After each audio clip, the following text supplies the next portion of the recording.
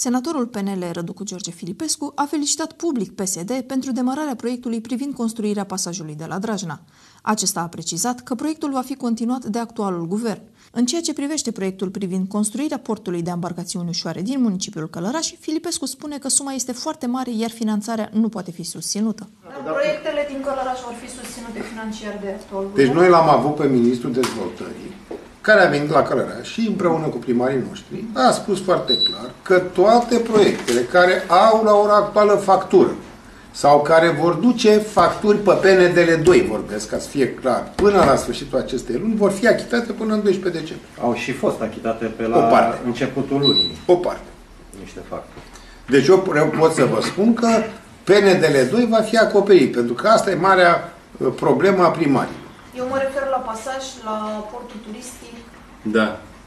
Pasajul chiar am ridicat problema acolo și săptămâna viitoare o să mergem la domnul Bode, la Ministrul Transporturilor și o să-i punem în vedere și un din nou un memoriu în brațe, avem vreo 6.000 de semnături, adică se va face, Adică oamenii ăștia care se va sunt la aduce în minister- atenția lui directă. ca La prioritate. Ministerul Transporturilor trebuie să înțeleagă că asta nu era o prioritate a PSD, este Nu, prioritatea... e, n-are nicio legătură. Tocmai asta era legătura. Domne, a fost, a, dar Ce are? hai să-l și facem. Adică puneți-l pe agenda dumneavoastră. în Eu le primele mulțumesc rânduri. PSD-ului în mod, PSD-ului în mod oficial, de față cu voi, că au adus lucrurile până aici.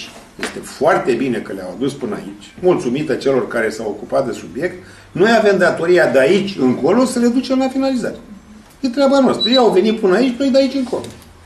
Ce are una cu alta? Și Deci despre rămâne port, Ce a prioritar. spus domnul ministru? Despre port ce a spus domnul ministru? Nu s-a adus în discuție? Bă, chestia aia cu portul turistic Port, nu este o prioritate pentru, pentru Călăraș. Păi și atunci de ce ne-am apucat să defrișăm Nu? acolo? Lasă-mă, defișăm și tăiem și punem altceva. Problema, punem altceva în loc. Ce? Chiparoși. Chiparoși. Chiparoși, chiparoși. pentru portul turistic. A defișat Rom Silva, a votat la lor.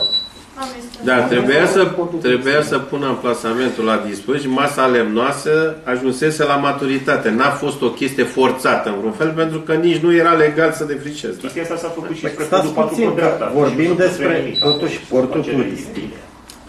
Există un contract pentru acest proiect Da. care a fost semnat. Sunt 57 de milioane de euro care au fost deja date.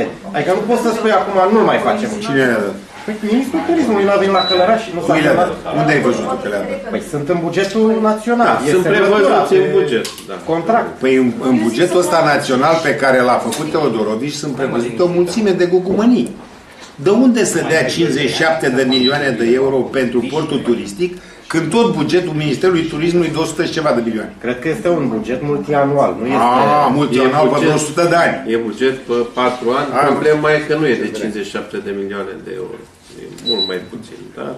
Nu, este vorba de E 18 oricum milioane o de sumă euro. mare. În jur de 100 de 18 milioane de milioane. lei, ceva de genul.